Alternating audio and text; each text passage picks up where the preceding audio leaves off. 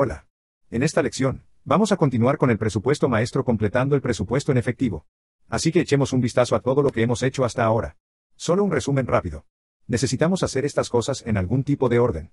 Para completarlos correctamente, tenemos que comenzar con el presupuesto de ventas para que luego podamos hacer el presupuesto de producción, el presupuesto de materias primas, el presupuesto de mano de obra directa, el presupuesto de gastos generales de la fábrica, el presupuesto de ventas y luego tenemos lo general y administrativo, luego analizamos algunos elementos de efectivo, incluidas las ventas totales presupuestadas en efectivo y cuánto vamos a recibir en el lado de las ventas. Y luego se calculan los ingresos totales en efectivo. Podemos usar esta información ahora para completar el presupuesto en efectivo. Así que comenzaremos con el saldo de efectivo inicial. Ahora, el saldo de efectivo inicial provendrá del balance general. Ahí va a ser donde terminamos la última vez. Entonces, si miramos la información que se nos da en el problema, tenemos efectivo a partir de 630, de 40.000 ahí es donde empezamos. Hacemos estadísticas de nuestro balance inicial. Aquí está el saldo final del último periodo. Ahí es donde vamos a empezar. Luego vamos a tener recibos de efectivo del cliente. Lo obtendremos de lo que hemos calculado justo encima de los recibos totales de efectivo de los clientes de arriba, y eso será igual a estos 490 que nos darán el efectivo que está disponible para usar y gastar durante el mes de julio. Así que, por supuesto, sumaremos estos dos. Voy a decir que esto es igual a esto 40 más, esto 495, 68, y voy a seguir adelante y subrayar esto de manera un poco diferente. Voy a ir a la pestaña inicio y usaré el subrayado en este formato. Luego vamos a hablar, por supuesto, de los desembolsos, del desembolso en efectivo. Así que tenemos desembolsos en efectivo. Vamos a tener pagos por las materias primas. Básicamente, vamos a revisar nuestros presupuestos ahora, y conectar estos números en términos de cuáles fueron nuestros desembolsos en efectivo. Ahora, si subimos al presupuesto de materias primas de aquí, podemos ver, está bien, tenemos el presupuesto de materias primas, julio, agosto, septiembre, pero las materias primas son un poco confusas, porque lo que realmente sucede es que compramos los bienes a cuenta en cuentas por pagar, y luego los pagamos al mes siguiente.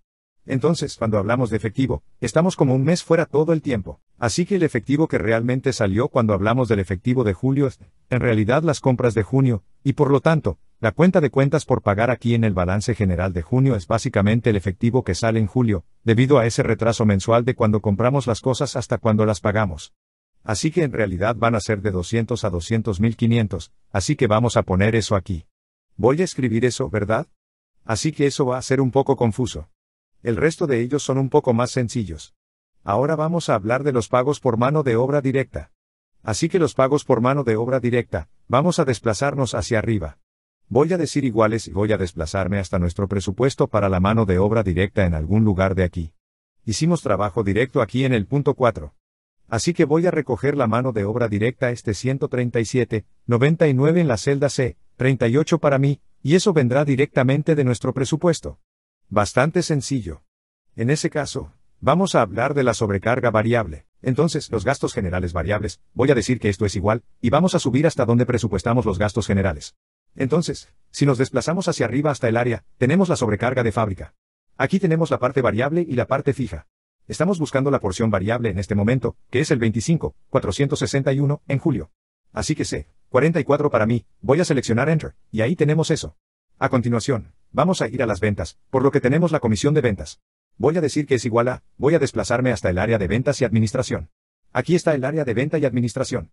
Tenemos comisión de ventas de en este caso, el 44.496, en la celda C, 52 para mí voy a seleccionar Enter el siguiente que vamos a tener es el salario de ventas.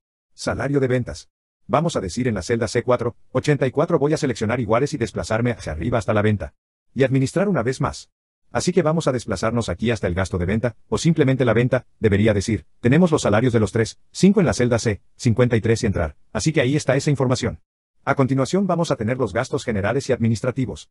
Así que aquí tenemos general y administrativo que voy a seleccionar para julio. Vamos a decir que esto es igual, vamos a desplazarnos hasta el área donde presupuestamos lo general y lo administrativo. Acá estamos buscando solo los salarios. En este caso, voy a seleccionar solo los salarios, y vamos a seleccionar, ingresa que son los 11.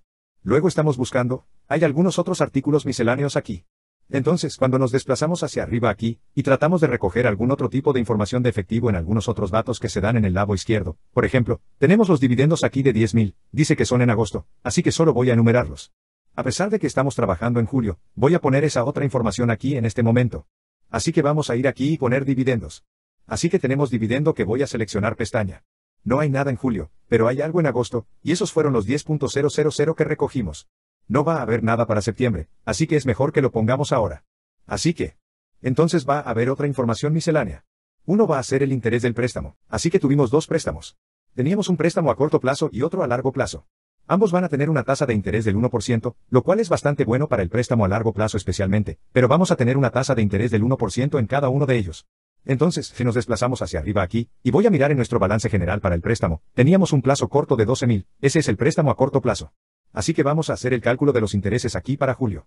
Vamos a decir que esto es igual a 12.000 veces punto, o, 1. Ese va a ser el interés para este periodo de tiempo, ese mes aquí. Así que vamos a seleccionar Enter, y luego vamos a tener el interés a largo plazo. Y así tendremos el mismo tipo de cosas aquí. Vamos a desplazarnos hacia arriba y a largo plazo. Es una tasa de interés mensual. Fíjate que no nos dieron la tarifa anual.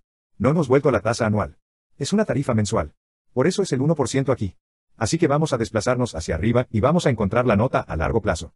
Entonces, si nos desplazamos hacia arriba aquí, vamos a decir, está bien, la nota a largo plazo está aquí, 500.000, así que vamos a desplazarnos hacia abajo. Vamos a hacer ese cálculo y decir que esto es igual a 500.000 por 1% o por el punto, o, un 1% de los 500.000 son los 5.000, y luego la otra pieza miscelánea, aquí que va a ser el desembolso en efectivo, es que gastamos dinero en equipo, y eso está aquí arriba en el 130, así que compramos equipo. Eso no sucede todo el tiempo. Compramos equipo aquí en septiembre, así que voy a enumerarlo ahora, aunque no compramos ninguno en julio, pero vamos a poner esa información aquí en este momento. Así que tenemos la compra de equipos, seleccionamos la pestaña y, de nuevo, no hay nada en julio. No hay nada en agosto, pero en septiembre, vendemos esos 130.000, así que ahí están los 130 y luego tenemos los desembolsos totales. Vamos a sumar los desembolsos. Usaremos la confiable función SAM para hacer esto. Así que solo estamos sumando esto, más esto, más esto, más esto, más esto, más esto, más esto, más esto, más esto. Y podemos ver en la barra de herramientas, esa barra de tareas, es 427, 177, voy a poner un cursor aquí. Voy a seleccionar es igual a su m, función de suma, su m, y, a continuación, haga doble clic en la función suma. Y luego solo queremos que el 205 baje a este cero para la compra, la compra de equipos. Queremos incluir el cero, porque queremos poder copiar la fórmula, es posible que queramos poner un subrayado aquí yendo a la pestaña Inicio, Grupo de fuentes y subrayado. Luego vamos a tener el balance preliminar de caja.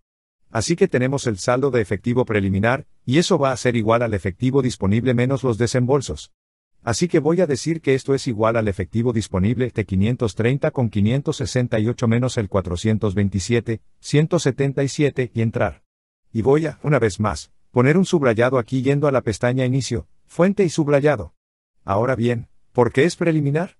Porque dijimos que vamos a pagar el préstamo, si tenemos el dinero para hacerlo, y queremos tener ese saldo mínimo en la cuenta. Así que tenemos esos 12.000 de préstamo a corto plazo, vamos a seguir adelante y pagarlo ahora, porque tenemos los fondos para hacerlo.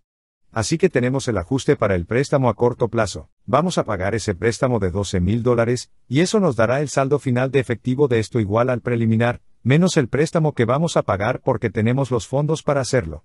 Y voy a, una vez más, subrayar yendo a la pestaña Inicio, Grupo Fuente y subrayando. Así que ahora vamos a pasar a agosto.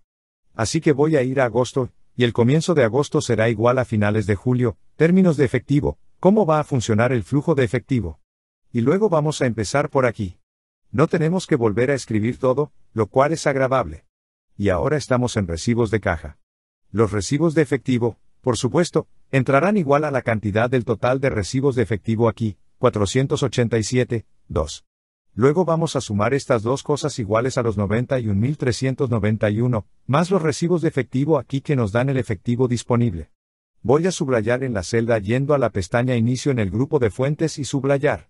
Luego estamos viendo los desembolsos. Vamos a empezar por el pago de la materia prima. Así que voy a seleccionar n igual a que vamos a desplazarnos hasta donde calculamos los materiales. Ahora recuerde, hay un poco de confusión en los materiales, vas a tener que comprobar el problema en esto.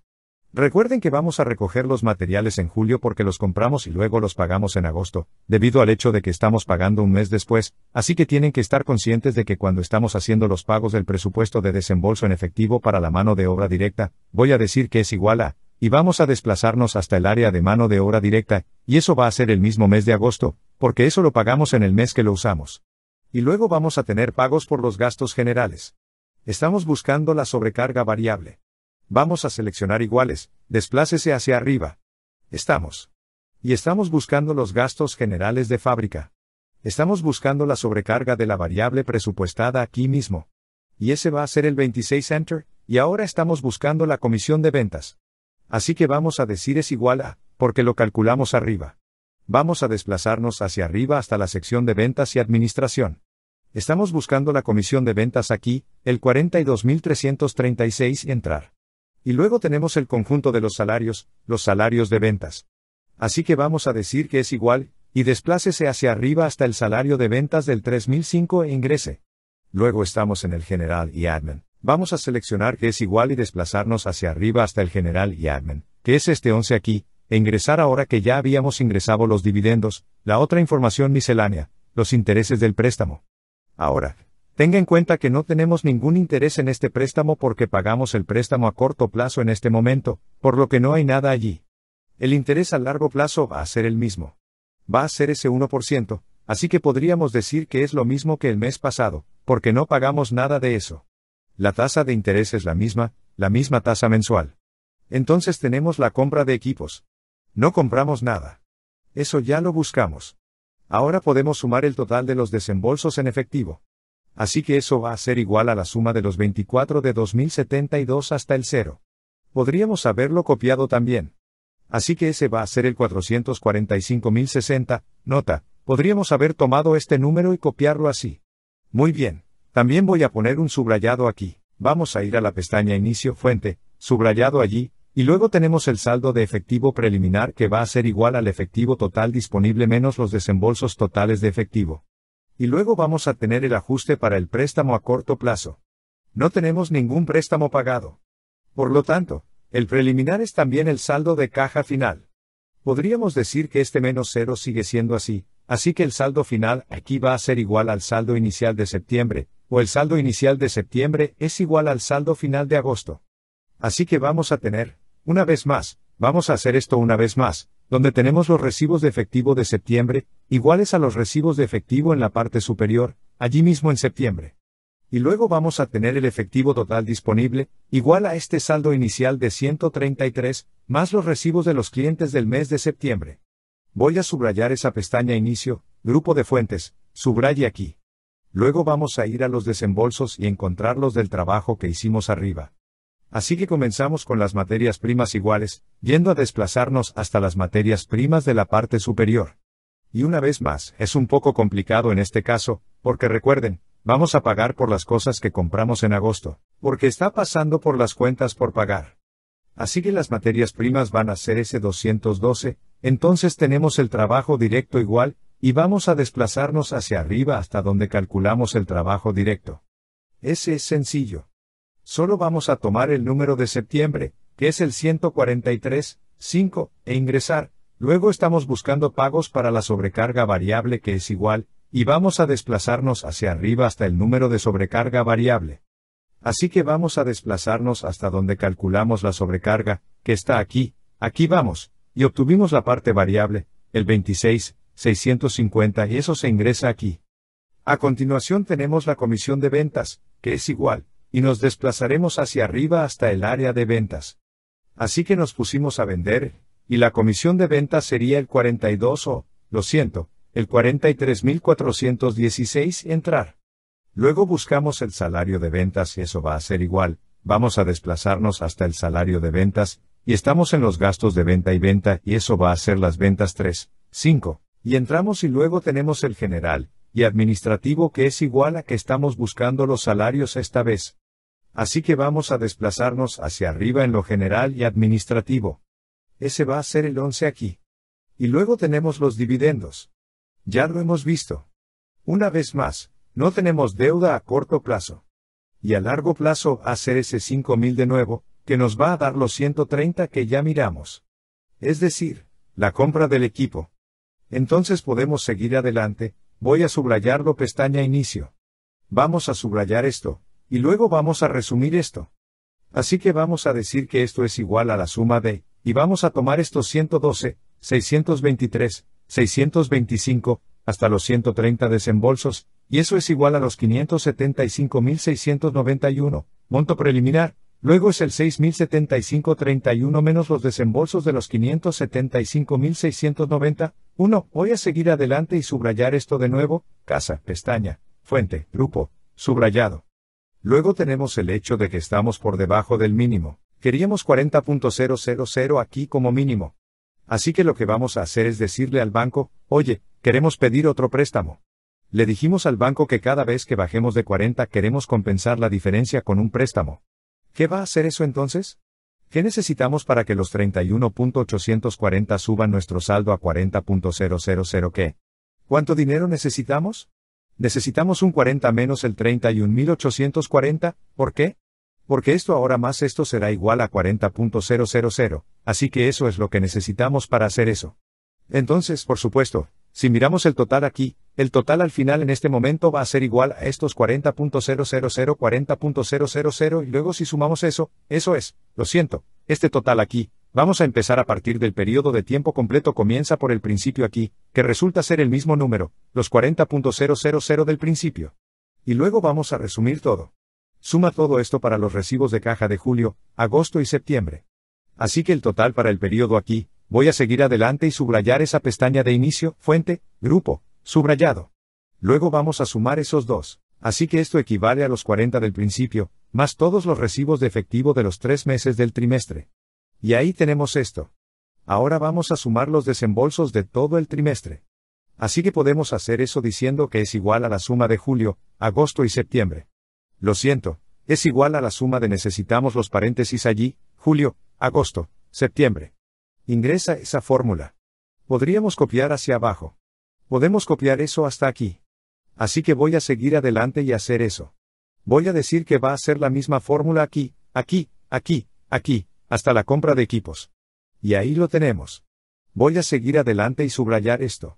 Voy a ir a la pestaña Inicio, Fuente, Subrayado y luego resumir esto de nuevo. Podríamos tirar de esto como si esta fuera la suma aquí.